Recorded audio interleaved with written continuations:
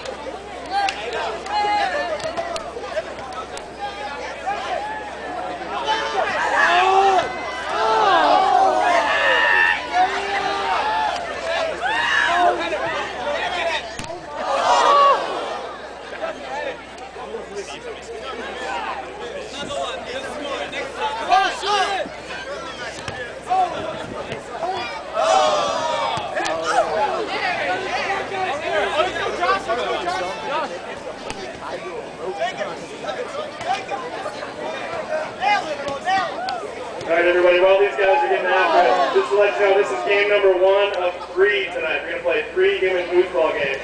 We have two games filled. We have nine more spots left for each team.